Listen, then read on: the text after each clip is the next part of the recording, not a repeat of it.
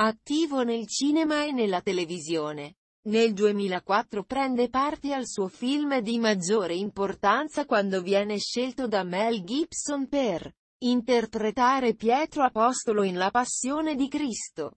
Nel 2007 prende parte alla serie tv La strana coppia con Luca e Paolo. Successivamente recita in altri lungometraggi, tra i quali ce n'è per tutti di Luciano Melchion.